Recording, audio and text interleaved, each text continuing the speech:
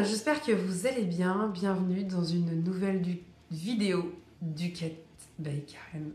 Aujourd'hui, je vais vous donner euh, des astuces pour en fait vous aider à bien euh, entretenir ou réviser votre moto.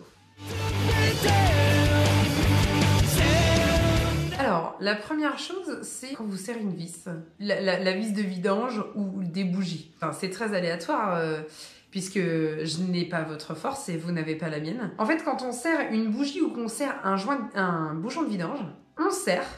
Donc en fait, on écrase le joint. Et une fois que le joint est écrasé, c'est-à-dire que voilà, on, on visse, on visse, on serre, et là on desserre et on remet un petit coup de serrage.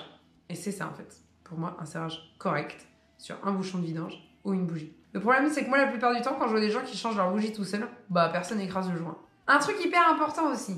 Deuxième chose, vous voulez faire la vidange de votre moto, mais il faut dévisser le bouchon de vidange. Et vous comprenez pas pourquoi, mais c'est dur. Ah non, c'est pas dur. C'est simple. Quand vous dévissez un bouchon de vidange, il faut vous souvenir que le bouchon a un joint. Donc un joint, même si elle a fait 10 000 km, votre moto, ça s'écrase encore. Ça peut s'écraser. Un petit coup de marteau sur le bouchon, bien sur la surface. Le tour est joué et après, euh, franchement, euh, le bouchon il se dévisse mais tout seul.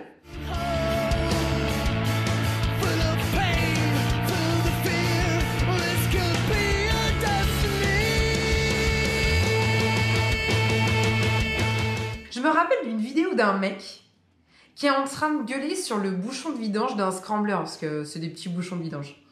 En train de dire que de toute façon, les ingénieurs chez Ducati euh, sont pas foutus euh, de réfléchir à faire euh, un bouchon de vidange avec une taille correcte et que c'est pour ça qu'on foire toujours l'empreinte qu'il y a à l'intérieur. Le mec se dit ingénieur mécanicien. Alors ingénieur non, mécanicien peut-être en chocolat et à mon avis le chocolat est mauvais. Graisser les vis.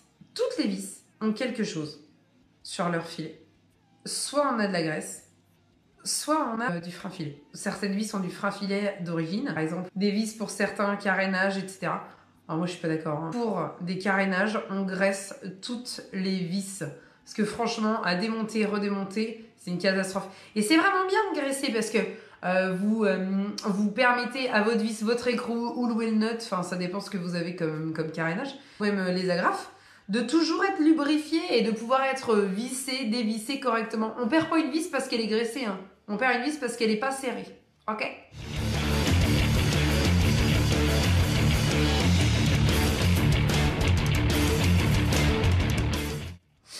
Et on met du frein filet sur les vis où il y a un danger, un risque de desserrage. Parce que la pièce est en mouvement, parce qu'elle tourne. Les étriers, les vis d'étrier par exemple, on met pas, met pas de frein filet. Puisque l'étrier il est fixe. Donc si on met de la graisse sur les vis et qu'on serre au couple, il n'y a pas de problème, ça ne bouge pas. Donc c'est important de graisser un maximum toutes vos vis et bien sûr de, euh, de freiner celles qui ont besoin d'être freinées. Vous pouvez pour les vis serrées au couple ou les vis que vous savez, enfin voilà, vous n'avez pas forcément de clé dynamo- dynamométrique pour serrer au couple, faire une trace sur la pièce et la vis. Comme ça, vous avez en fait un repère pour pouvoir revisser au même endroit. Comme ça, vous êtes sûr. Mais il faut être sûr que ça a été euh, serré au couple euh, au préalable. hein. C'est hyper important quand même. Parce que c'est pas la peine de resserrer hyper fort si ça a été serré déjà trop fort avant. Donc, euh, enfin, voyez, voilà, voyez avec un professionnel qui vous sert bien tout au départ. Vous pouvez le refaire correctement en faisant ce marquage entre les deux pièces.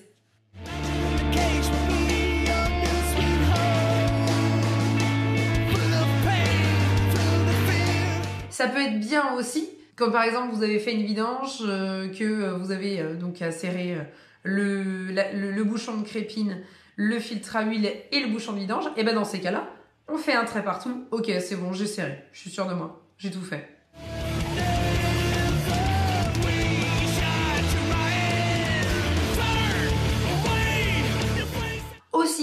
Chasser l'humidité des cosses électriques. C'est important, vous êtes beaucoup à avoir ce type de problème et c'est dommage parce que c'est pas grand chose.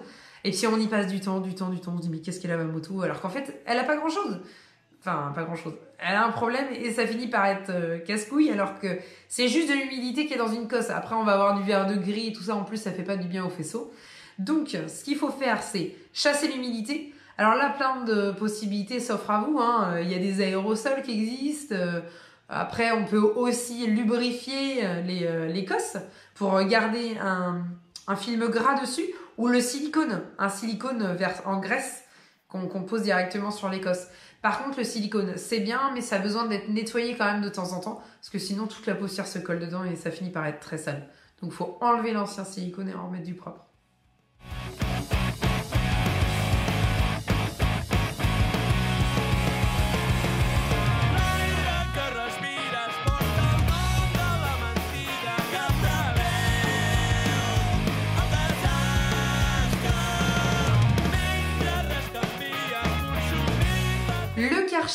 Le Karcher, vous pouvez nettoyer votre moto Karcher. Moi, je suis pas pour, mais vous pouvez. Peut déjà aller loin, arrêter d'être tout près là comme ça pour enlever le dernier putain de moustique qui veut pas venir. Mais ce qui ce qui est important dans le Karcher, c'est de pas insister au niveau du faisceau et sur les roulements, roulement de roue, roulement de direction, tout ça, faut pas y aller quoi. Faut pas y aller, faut y aller avec euh, une brosse à dents, un chiffon, ce que vous voulez, mais pas pas à ces endroits-là. Et après, quand on passe le Karcher, on le passe de haut en bas. Voilà, c'est hyper important de commencer par le haut pour aller vers le bas. Déjà parce que on va pas remonter la merde vers le haut, ça sert à rien. Et en plus, on peut créer plein de projections et aller mettre des choses sous le réservoir et tout euh, sans le vouloir. Donc c'est dommage. Et puis il faut quand même penser à la chaîne, la roue arrière. Tout ça, il y a pas mal de gras. On peut même avoir une petite fuite sur le moteur qu'on n'a pas forcément vu. Donc on va remonter cette graisse et cette huile en l'air. Donc déjà, bon, on nettoie pas. Et puis en plus de ça, on peut, euh, on peut remonter des cochonneries. Donc c'est pas le truc à faire. Toujours de haut en bas. Ça, c'est hyper important. Donc voilà une euh, vidéo d'astuces pour vous Ducati. N'hésitez pas à liker, partager cette vidéo si elle vous plaît. Commentez, dites-moi ce que vous en pensez. Je suis sûre que vous avez plein de super autres euh, idées pour bien entretenir votre Ducati. Je vous souhaite une bonne soirée. Salut